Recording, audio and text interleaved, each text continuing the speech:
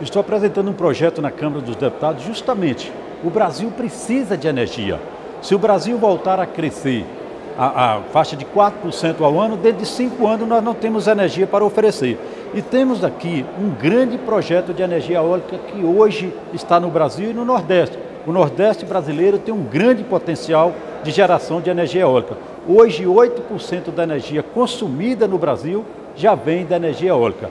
E o nosso município, a nossa região tem um grande potencial. Nós já temos lá hoje mais de 680 quilowatts de energia gerado na energia eólica. Portanto, nós estamos aqui pedindo ao governo maiores investimentos na energia eólica. Vou convidar ao ministro para que ele possa ir na nossa região para conhecer de perto a implantação desses parques. Nós temos lá o Alto Sertão, com 14 parques, nós temos o, o Sertão 2 com 15 parques e agora está instalando o Renova 1, que vai ter aí mais 16 parques eólicos, com capacidade de uma geração de energia para 2, 2 milhões de residências.